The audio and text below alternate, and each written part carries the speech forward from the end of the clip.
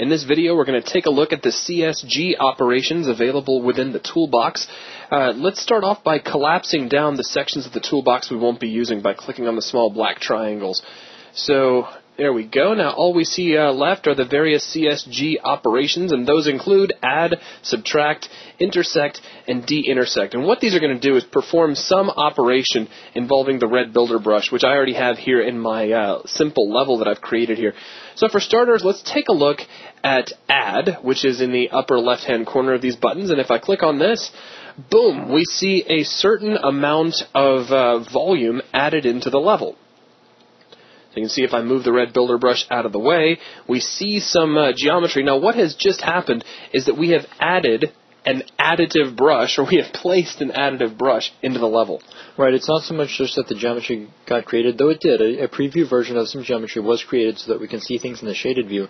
But more importantly, if you look at this in a wireframe view, we can see that there has been a brush added to the scene. We now have this blue additive brush now in the shape of the builder brush. That's right. And this blue brush's purpose is to define an area of additive geometry. And that's what the add button is going to do. It's going to create a volume of additive geometry for us to be, uh, to be placed in our level, which is what we have here.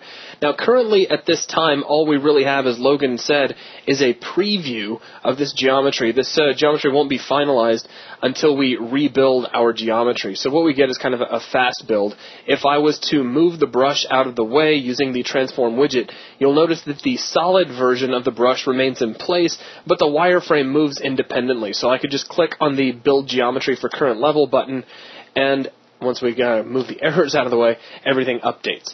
So that's a quick look at adding geometry. So without going too far into a discussion over uh, BSP operations and things like that, we'll just notice that this adds uh, a, an additive brush into the level that has the exact same shape as the red builder brush.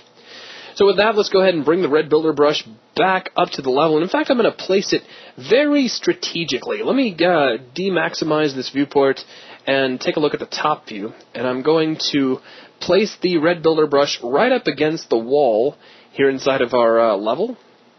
And you can see here in the perspective view how it's uh, placed right up against this wall. And then I'm going to click the CSG subtract button. And what this is going to do is carve out a negative space, or at least that is the result that you see. If I was to move the red builder brush out of the way, what actually happened is that it created a subtractive brush, and the purpose of a subtractive brush is to define an area where mass has been removed from our map. Right, so there's a, a, quick look at CSG subtract. Now all we have left is CSG intersect and de-intersect, and what these are going to do is perform Boolean operations with the red builder brush, and it behaves in two different styles based on whether or not you are uh, intersecting with solid geometry or positive space or negative space, additive space or uh, or subtractive space, if you will.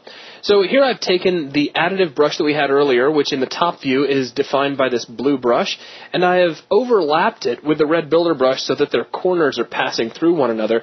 And now I'm going to click the CSG intersect button, and what happens the red builder brush conforms to the volume that was included where the two brushes intersected one another.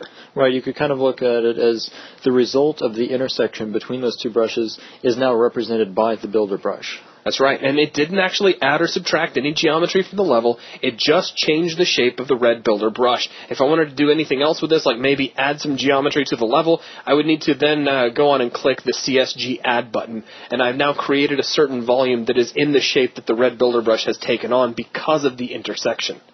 Now with that, let me go ahead and expand my primitives once again, and I'll set my red builder brush back to a standard cube. And we'll slide this back over. I'm going to make the corners uh, once again intersect the way they did a moment ago. And this time, however, we're going to hit CSG de-intersect, and we get a much more interesting shape. And uh, if we pull back here and have a quick look at this, in fact, I might need to get a little fancy with the placement of my lights. Let me make this viewport nice and big. Uh, we'll move this light over here, and then I'm going to add this uh, volume to the level.